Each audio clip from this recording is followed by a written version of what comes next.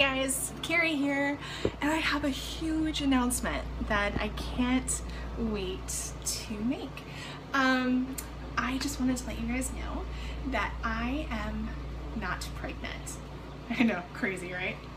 Um, but there seems to be a little bit of confusion, uh, mostly because I look four to six months pregnant pretty much all the time.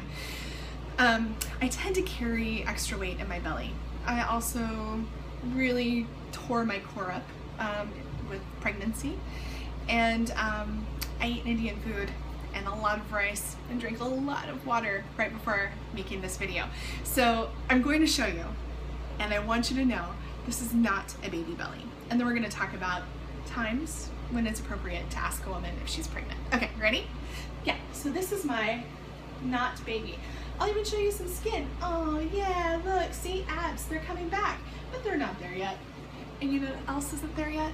A baby. Okay, so with that being said, I thought maybe the world could use a little bit of help deciding when it's appropriate to ask a woman if she's pregnant. There are basically only two scenarios where it's appropriate to ask a woman. So it doesn't really matter if you're really sure or kind of sure or you really want her to be pregnant. Two reasons. Number one, right? Write it down. She tells you that she's pregnant, and then you say, Really? What? You're pregnant? How do you feel about this? Okay, reason one. Got it? Easy. Because if she wants you to know, she'll tell you. The end. Um, way number two.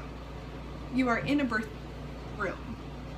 Uh, birth center, hospital, home, car, ambulance, park, whatever. And you see the baby crowning in the woman's vagina.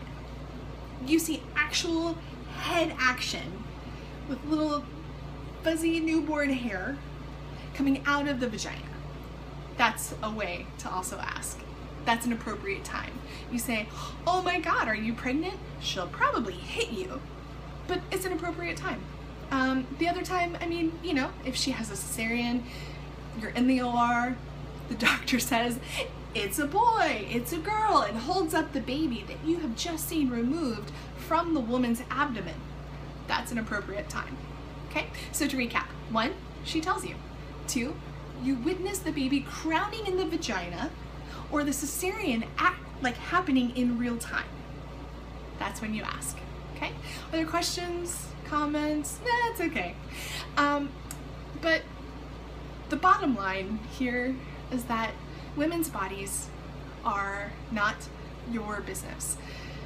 Reproduction, having the babies, making the babies, growing the babies, any of it. Uh, if a woman wants you to know, she'll tell you. Um, in the meantime, be a good human. Don't ask.